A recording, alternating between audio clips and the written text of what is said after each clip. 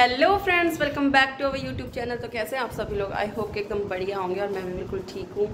तो बज रहा है सुबह के साढ़े सात और मैं हो चुकी हूँ स्कूल के लिए रेडी अब आप सोचोगे आज इसने स्कूल यूनिफॉर्म क्यों नहीं पहनी है? तो मैं आप लोगों को बताना चाहूँगी कि आज है हमारे स्कूल में पीटीएम लेकिन पीटीएम वाले दिन भी हम स्कूल यूनिफॉर्म में ही जाते हैं बट कल थी बारिश तो आते टाइम हमारी जो स्कूल की साड़ी थी, वो पूरी तरीके से भीग चुकी थी। तो आज हम हैं ड्रेस के लिए एकदम फ्री तो मैम ने बोला था कि आप साड़ी या सूट कुछ भी वेयर करके आ सकते हैं तो मैंने सोचा क्यों ना आज पहन लिया जाए सूट। तो फाइनली मैं हो चुकी हूँ तैयार और मेरा लुक कुछ ऐसा है कैसा है ज़रूर बताना। मुझे तो खैर अच्छा लग रहा है। आप लोग भी कमेंट बॉक्स में बता सकते हैं कि आ, सही लग रहे हैं या नहीं। तो फ्रेंड्स जल्दी जाते हैं स्कूल क्योंकि आज वैभव की भी छुट्टी है। आज है शहीद दिवस। हमारे स्कूल में भी छुट्टी है बच्चों की तो इसलिए मैम ने रख दी पीटीएम क्योंकि यूटी स्टार्ट होने वाले हैं तो पेरेंट्स को कुछ जानना और हमें कुछ उनको बताना होता है तो उसके लिए आज है पीटीएम तो हमें जाना होगा। फटाफट से स्कूल तो मिलते हैं आप लोगों से, स्कूल से आने के बाद, और क्या होता है उसके बाद ज़रूर देखिएगा। ब्लॉग में उसके लिए आपको कंटिन्यूसली बने रहना पड़ेगा तो ब्लॉग में कंटिन्यूसली बने रहिएगा। तो फ्रेंड्स फाइनली हमारा बोर्ड भी डेकोरेट हो चुका है। देखो, ऐसे आपको दिखाई नहीं दे रहा होगा। वेलकम टू पीटीएम लिखा हुआ है, लेकिन थोड़ा वो सेल्फी मोड में होने की वजह से ना, सही नहीं दिख रहा है तो मैं आप लोग को बैक कैमरे से दिखाती हूँ। तो इस तरीके का है कुछ बोर्ड डेकोरेशन कुछ समझ नहीं आ रहा था, जल्दबाजी में यही बना दिया। और इधर सुमित गेम्स खेल रहे हैं। सुमित की पढ़ाई हो गई है। मम्मी ने आते ही पढ़ाई पे लगा दिया था। है सुमित? छुट्टी वाले दिन भी मम्मी चैन से नहीं रहने देती। से हेलो इधर को देख के हेलो बोलो। हेलो फ्रेंड्स ये सुमित है हमारी, ये मैडम जी का बेटा। जरा इधर को देख लो।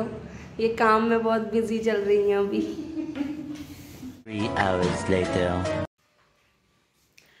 तो दोस्तों फाइनली आ चुकी हूँ मैं स्कूल से और पीटीएम रही बहुत ही बढ़िया। वैभव लेकर के आ रहा है अपने डायग्राम मुझे दिखाने के लिए।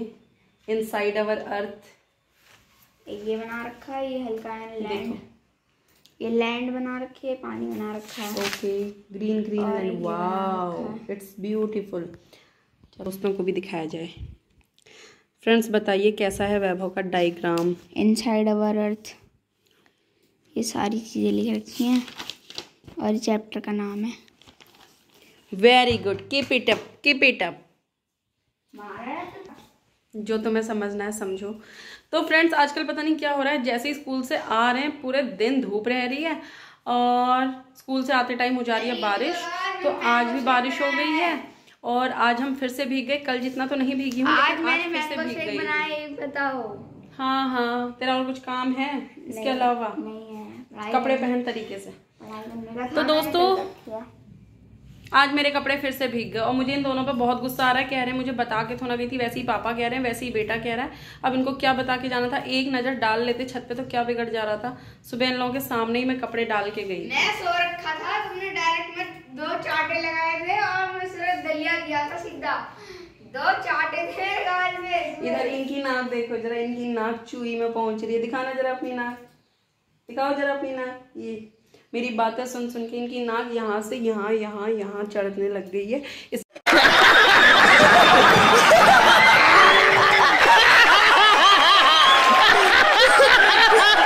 इससे पहले कि ज़्यादा ऊपर जाए, उससे पहले मैं चुप हो जाती हूँ। तो फ्रेंड्स मुझे करना है बहुत सारा काम। तो मैं करती हूँ फटाफट अपना काम और मिलती हूँ उसके बाद आप लोग इधर आके बता तूने कैसे बनाया? मेरे लड्डू गोपाल ने आज फिर से जरा ठीक हो गया है। आज लड्डू गोपाल अच्छा लग रहा है। तो आज लड्डू गोपाल ने बना दिया है मिल्क शेक मैंगो शेक तो वो बता रहा है उसका बनाने का तरीका प्रोसीजर रेसिपी बताओ नाउ पहले मैंने उसमें पहले मैंने आम को पीसा। सामने देख करके बताइए। पहले मैंने सिर्फ़ दूध डाल के आम को पीसा फिर उसमें दो गिलास रोबजा डाल दो दो गिलास कह रहा हूँ दो ढक्कन रोबजा डाल दिया उसके बाद फिर उसको उसका कलर चेंज हो गया फिर मैंने उसको एक गिलास में डाल के दूध अलग से पीस दिया। फिर उसकी उस दूध को उसमें सामने देख के सामने देख उस दूध को उसमें मिला उलू के दे दिया। बस पिज्जा बन रखा है। फ्रेंड्स वाकई में आजकल मैंगो शेक बहुत बार पिया जा रहा है। Yes. ओए टूट गया था ग्लास अभी। चेस के चक्कर में ग्लास जो चला गया था अभी। शेर ऐसे ही होते हैं। दोस्तों बहुत टेस्टी है। आप लोग भी बनाना। बनाना शेक या फिर मैंगो शेक कुछ भी बनाओ ना उसमें रूह अफ़ज़ा डाल देना। और हाँ नींबू की सिकंजी कुछ भी बनाओ उसमें ज़रूर से रूह अफ़ज़ा डालना ना उसका टेस्ट हाँ नींबू हाँ बहुत बहुत चेंज हो जाता है। अभी. हलवा पूरी होती है पानी पूरी भी होती है पर यार ये नींद पूरी क्यों नहीं होती? ओए सुनो क्या तुम मेरे मम्मी पापा से अपनी बराबरी करती रहती हो? मेरी मम्मी ने मुझे संस्कार दिए मेरे पापा ने मुझे बड़ों का आदर करना सिखाया है। तुमने मुझे क्या सिखाया है? क्यों? आपको कपड़े और बर्तन धोना किसने सिखाया है? मैंने।